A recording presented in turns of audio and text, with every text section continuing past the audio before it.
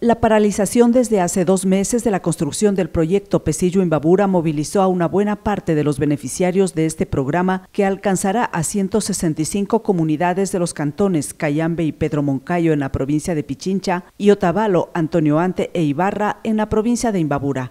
Queremos que el proyecto Pesillo Imbabura ya no sea utilizado políticamente, porque nos han paralizado sin consultarnos a nosotros un proyecto que esperamos por más de 24 años. Alrededor de 5.000 comuneros se congregaron en San Roque desde donde partieron por la vía E35 para llegar a Ibarra con un objetivo, pedir explicaciones a la presidenta de la mancomunidad del proyecto Pesillo Imbabura, la alcaldesa de Ibarra, Andrea Escaco. Ahora nos tienen que decir con bases legales, con fundamentos técnicos del por qué se paralizó el proyecto Pesillo Imbabura.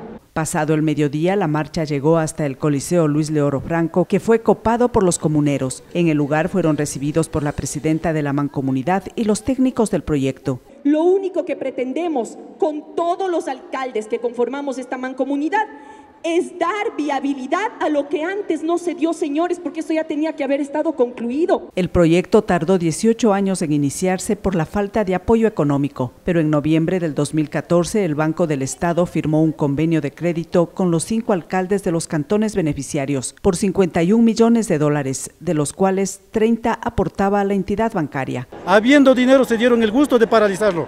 Eso estamos en total rechazo con todo lo que está pasando en el Imbabura. Pero el problema se habría presentado en el diseño del proyecto que no tomó en cuenta aspectos de la topografía del terreno, explicó el gerente Marcelo Piedra. Porque tenemos unos malos estudios que no contemplaron las variantes que están pidiendo ustedes. Este habría sido el motivo principal para suspender las obras, evitándose de esta forma no solo la pérdida de los recursos, sino también las multas a las que podría haberse acogido la empresa constructora por el no cumplimiento de los plazos. Podían declarar la terminación del contrato, la liquidación del mismo, podían declarar daños y perjuicios, lucro cesante, daño emergente, con lo cual nos complicábamos nos fregábamos en términos populares. A pesar de que la reunión se tornó tensa en ciertos momentos, la resolución final fue firmar un acuerdo de compromiso para que la obra pueda continuar y se convierta en una realidad. Con cámaras de Eddie Mafla y la cobertura de Gabriela Garcés, informó para TVN Canal Nancy Valdivieso.